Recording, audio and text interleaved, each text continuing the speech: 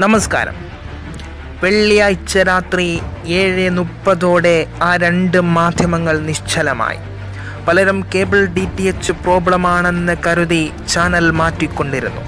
മറ്റു ചാനലുകൾ കിട്ടുന്നുണ്ട്. എന്നാൽ ആ രണ്ട് മാധ്യമങ്ങൾക്ക് മാത്രം എന്തു പറ്റിയെന്ന ചിന്ത ചിലരെ പ്രകോപിതരാക്കി. കാരണം മലയാളികൾക്ക് അത്രമേൽ പ്രിയപ്പെട്ടതായിരുന്നു അതിലൊരു ചാനലായ ഏഷ്യാനെറ്റ്. ദൂരദർശന് ശേഷം മലയാളം സംസാരിച്ച ആദ്യ സ്വകാര്യ ചാനൽ അന്നും ഇന്നും മുൻപന്തിയിൽ തന്നെയാണ്. അതുകൊണ്ട് തന്നെ പ്രേക്ഷകരെ ഒത്തിരി ചൊടിപ്പിച്ചു. അവർ തങ്ങളുടെ കേബിൾ ഡി ടി എച്ച് ഓപ്പറേറ്റർമാരെ വിളിച്ചു. പക്ഷേ അവരും കൈമലർത്തി തങ്ങളുടെ പ്രശ്നമല്ല എന്ന് വ്യക്തമാക്കി. എന്നാൽ ചില മാധ്യമങ്ങളും ഓൺലൈൻ ചാനലുകളും പെട്ടെന്ന് ഫേസ്ബുക്ക് ലൈവ് വന്ന് ആ വാർത്ത ആഘോഷമാക്കി. ഏഷ്യാനെറ്റിനും മീഡിയ വണ്ണിനും രണ്ട് ദിവസത്തെ നിരോധനമെന്ന വാർത്താ ക്യാപ്ഷനുകൾ പ്രചരിച്ചു. മറ്റൊന്നിനുമല്ല ഡൽഹി കലാപത്തിന്റെ നിജസ്ഥിതി ലോക മലയാളികളിൽ എത്തിച്ചു കൊടുത്തതിന്. വ്യാജ വാർത്ത സംരക്ഷണം ചെയ്തുവെന്നായിരുന്നു ഈ മാധ്യമങ്ങളുടെ വാമൂടിക്കെട്ടാൻ വാർത്താ പ്രക്ഷേപണ മന്ത്രാലയം കണ്ടെത്തിയ പോംവഴി നടപടിക്കെതിരെ സോഷ്യൽ മീഡിയയിൽ പ്രതിഷേധം ശക്തമായി. അർദ്ധരാത്രി പോലും ജനം തെരുവിലിറങ്ങി. മാധ്യമങ്ങൾക്കെതിരെയുള്ള കടന്നു കയറ്റത്തിനെതിരെ നിരവധി ജനപ്രതിനിധികൾ രംഗത്തു വന്നു. വെറും ശൂന്യമായി കിടന്ന ഈ മാധ്യമങ്ങളുടെ യൂട്യൂബ് സ്ട്രീമിംഗ് പേജിലും അത് പ്രതിഫലിച്ചു. എന്തെന്നാൽ പ്രിയപ്പെട്ട ചാനലുകളുടെ കടന്നുവരവിനായി തങ്ങളുടെ സപ്പോർട്ട് അറിയിച്ചുകൊണ്ട് നിരവധി പേരാണ് രാത്രി വൈകിയും കമന്റുകൾ ഇട്ടുകൊണ്ട് കാത്തിരുന്നത്. ഞായറാഴ്ച പുലർച്ചെ ഏഴ് മുപ്പതോടെ ചാനലുകളുടെ നിരോധനം ഒഴിവാക്കുമെന്നാണ് ആദ്യം അറിയിച്ചിരുന്നത്. എന്നാൽ കുറച്ച് മണിക്കൂറുകൾക്കുള്ളിൽ തന്നെ ഏഷ്യനെറ്റ് ന്യൂസിന്റെ വിലക്ക് നീക്കിയിരുന്നു. രാവിലെ പതിനൊന്ന് മണിയോടെ മീഡിയ വണ്ണം സംരക്ഷണം പുനരാരംഭിച്ചു. വടക്ക് കിഴക്കൻ ദില്ലിയിൽ പൗരത്വ നിയമത്തിന് എതിരെ വിവിധ ഗ്രൂപ്പുകൾ തമ്മിലുള്ള ആക്രമണങ്ങൾ സാമുദായിക സംഘടനകൾ എന്നിവ പോയ വാരങ്ങളിലാണ് പൊട്ടിപ്പുറപ്പെട്ടത്. ഭ്രാന്തു പിടിച്ച ജനക്കൂട്ടം വീടുകളും കടകളും വാഹനങ്ങളും പെട്രോൾ പമ്പും കത്തിച്ചുവെന്ന് മാത്രമല്ല പ്രദേശവാസികൾക്കും നേരെ ആക്രമണം അഴിച്ചുവിട്ടു. പോലീസ് ഉദ്യോഗസ്ഥർക്കും നേരെ കല്ലെറിഞ്ഞു.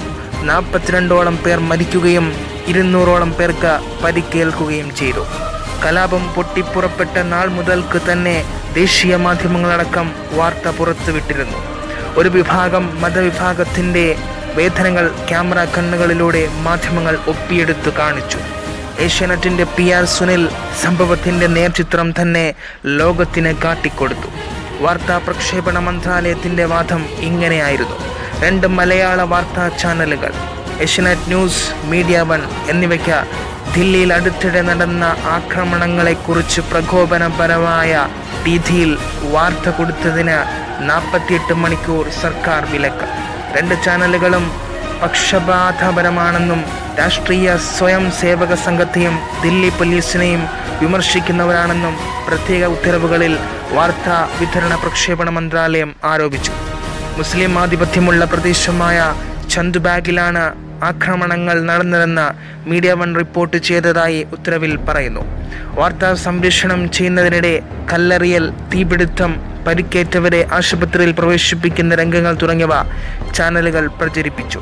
അത്തരം സംരക്ഷണം ആക്രമണത്തെ പ്രേരിപ്പിക്കുകയും ക്രമസമാധാന നില തകരുന്നതിന് കാരണമാവുകയും ചെയ്യും.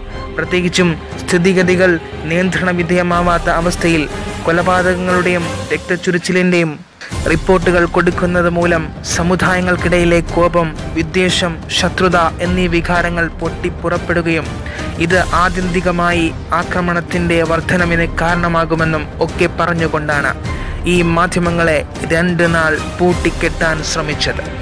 കേബിൾ ടെലിവിഷൻ നെറ്റ്വർക്ക് ആക്ട് ആയിരത്തി തൊള്ളായിരത്തി തൊണ്ണൂറ്റി നാലിലെ റൂൾ ആറ് ഒന്ന് സി റൂൾ ആറ് ഒന്ന് ഇ എന്നിവ പ്രകാരമാണ് രണ്ട് ചാനലുകളും നിരോധനം ഉണ്ടായത്.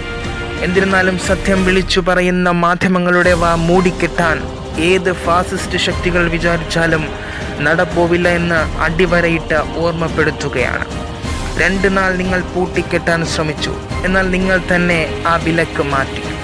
പൂർവാധികം ശക്തിയോടെ അവർ തിരിച്ചു വന്നു. ഇനിയും നിങ്ങളുടെ ചോര കുടിയൻ തന്ത്രങ്ങൾ അവർ വിളിച്ചു പറയും. സത്യം അല്പം പോലും വളച്ചൊടിക്കാതെ. ഒന്ന് പറയട്ടെ മലയാളം സംസാരിക്കുന്ന രണ്ട് ചാനലുകൾ ഇന്ന് ഇന്ത്യയിൽ തന്നെ ജനശ്രദ്ധ പിടിച്ചു പറ്റിയത് നിങ്ങൾ കാരണമാണ്. പ്രധാനമന്ത്രി പോലും ആശങ്ക രേഖപ്പെടുത്തി. സാക്ഷര കേരളത്തിൽ മാധ്യമങ്ങളുടെ വാ മൂടിക്കെട്ടിയാൽ അവർ നിങ്ങൾക്കെതിരെ സംസാരിക്കില്ലെന്ന് നിങ്ങൾ കരുതിയോ? ഒരിക്കലുമില്ല. ഒരു ഏഷ്യാനെറ്റും ഒരു മീഡിയ വണ്ണും പോയാൽ ഇവിടെ ആയിരം ഏഷ്യാനെറ്റും ആയിരം മീഡിയ വണ്ണും പിറവിയെടുക്കും. കാരണം ഇത് കേരള മണ്ണാണ്. സത്യങ്ങൾ അവർ ഇനിയും വിളിച്ചു പറയും. യാതൊരു സംശയവും വേണ്ട. മല്ലു